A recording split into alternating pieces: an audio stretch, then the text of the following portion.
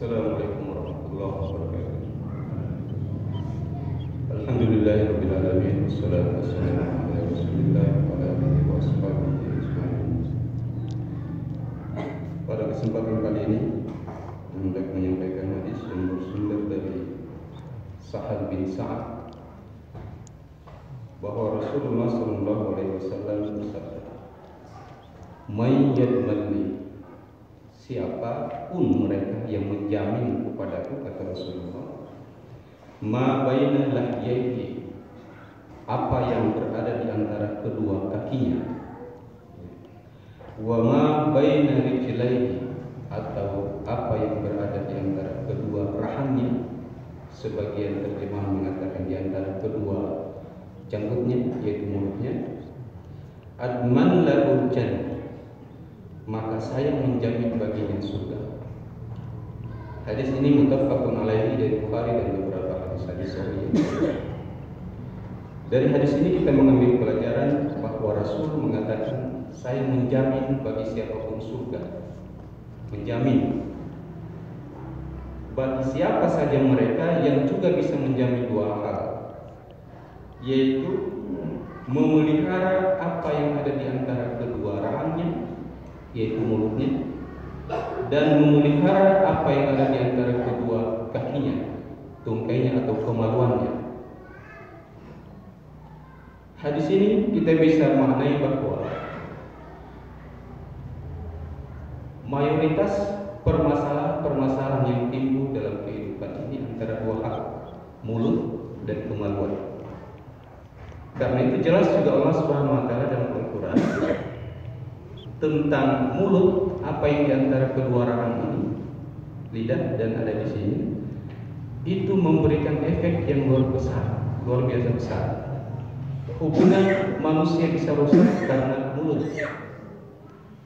Jarang setiap hari orang kita menemukan memukul atau menyakiti secara fisik dengan tangan atau kakinya kepada saudaranya.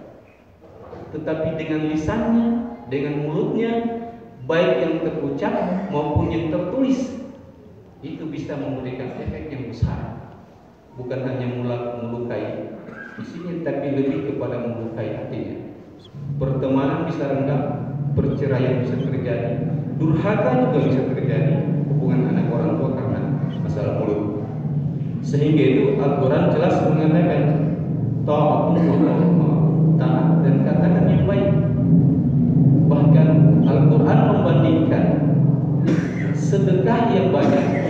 jika diikuti dengan kata-kata yang tidak baik itu tidak lebih baik bahkan qaulun ma'rufun wa maghfiratun khairun min sadaqatin yatba'uha kata-kata yang ma'ruf itu dan permohonan maaf itu lebih baik daripada sedekah yang diikuti dengan kata-kata yang tidak baik menyebut-nyebutnya. Jadi itu yang pertama. Yang kedua kata Rasulullah, saya menjamin baginya surga, tetapi dia harus menjamin yang kedua, bahwa dia mampu memelihara di antara kedua pahanya, kedua kakinya, yaitu kemaluan. Al-Quran juga menjelaskan tentang ini. Empat kali disebutkan furujan. Jadi ciri-ciri orang yang beruntung itu allazina li furujihim hafizun.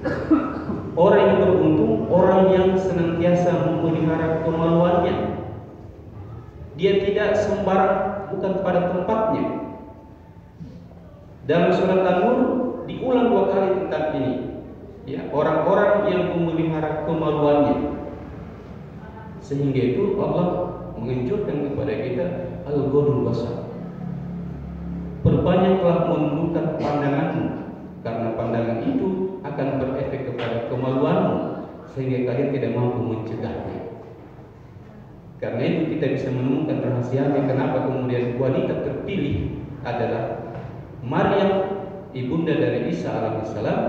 Salah satunya karena Allah menyebutkan baginya adalah fa'ahsana farjaha. Dia adalah yang terbaik dalam memelihara kemaluannya, suci. Maka dari rahimnya itu kemudian Allah menurunkan ruh yang suci lahir juga manusia yang suci. Dan hadis ini kita mengambil pelajaran maka bulan Ramadan ini mari kita membiasakan diri untuk mencegah ya, dari ucapan-ucapan yang buruk, kata-kata yang buruk, atau kemudian juga mencegah dari sahwat kita memperturutkan kebutuhan-kebutuhan kemaluan. Jadi memelihara lisan dan memelihara kemaluan. Semoga kita bisa meminum manfaatnya. Bila kita berkuat. Assalamualaikum warahmatullahi wabarakatuh.